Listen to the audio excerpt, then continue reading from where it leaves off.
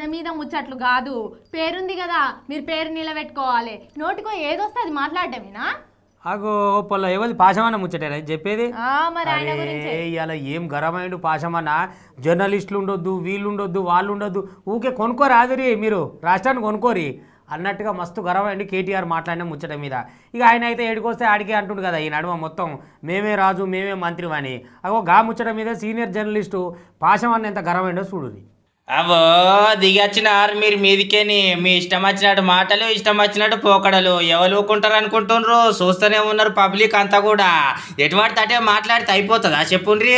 ఇక మీడియాలకు రానియద్దు మీటింగ్లకు వాళ్ళంతా కూడా బదనాం లేపే కార్యక్రమాలు పెట్టుకుంటున్నారు అని చెప్పేసి మీడియానే బదనాం చేస్తున్నాం అంటే నీకు ఇంత కూడా లేదు సారు అని చెప్పేసి ఇక ఎవరు అనుకుంటుర్రు పాశం యాదగిరి అన్ననుల్లా ఎవరిని వేసుకున్నాడు అనుకుంటుర్రు ట్విట్టర్ మంత్రి కేటీఆర్ సార్ను.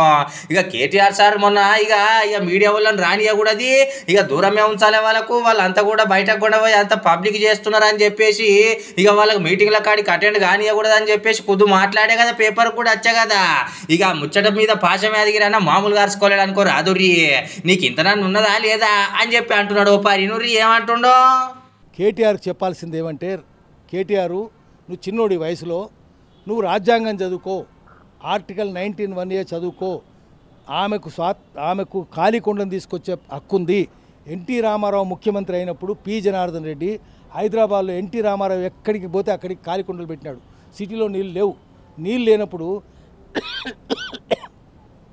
కాళీకొండల ప్రదర్శన పెట్టినాడు. పెడితే ఎన్టీ రామారావు ఖాళీ కొండలు పట్టుకున్న వాళ్ళకి పోయి దండం పెట్టినాడు.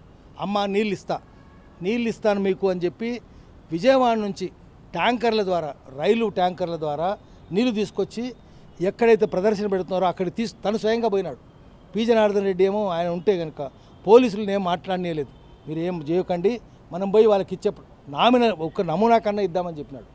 అట్లా ఎన్టీ రామారావు నీ పేరు తారక రామారావు కదా నువ్వు ఎన్టీ రామారావు లాగా తయారుగా. నీ పేరు కేటీఆర్ కావచ్చు ఆయన పేరు ఎన్టీఆర్ కావచ్చు మీ నాయన ఎన్టీఆర్ ఫ్యాను. ఎన్టీఆర్ పేరే నీకు పెట్టినాడు తారక రామారావు అని. నువ్వు తారక రామారావు లాగా తయారుగా. వాళ్ళ దగ్గరికి పోయి నీళ్ళు ఇయ్యి ఆమె ఎవరో కార్పొరేటర్ దగ్గర పోయి దండం పెట్టి అమ్మ నేను నీళ్ళు ఇస్తాను నీకు అని చెప్పి చెప్పు.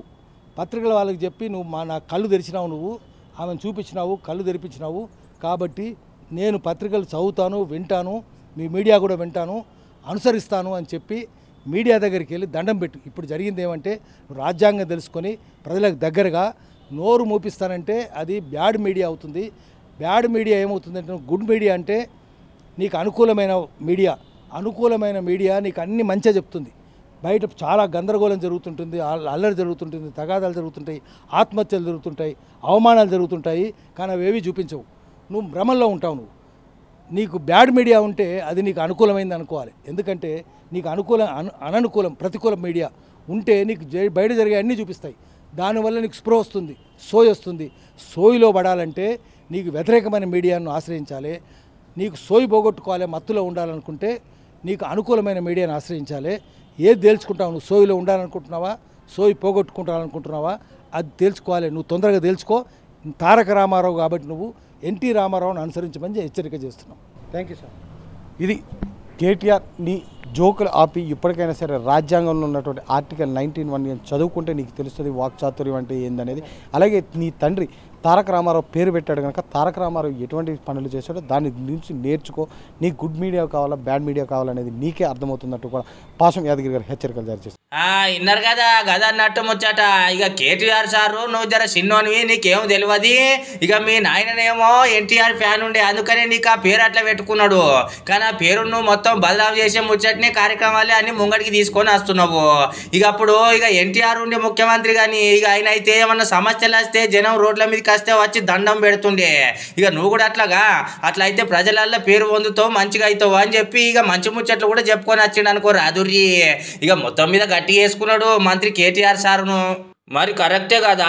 ఏది అన్యాయమో ఏది న్యాయమో తెలియజేసేదే మీడియా. ఇక మీడియా మీదకే ఇట్లా ఉసుగొలిపే మాటలు మాట్లాడితే ఎవరుకుంటారు చెప్పండి అని చెప్పి అనుకొస్తున్నారు పబ్లిక్ అంతా కూడా. వాజీవే.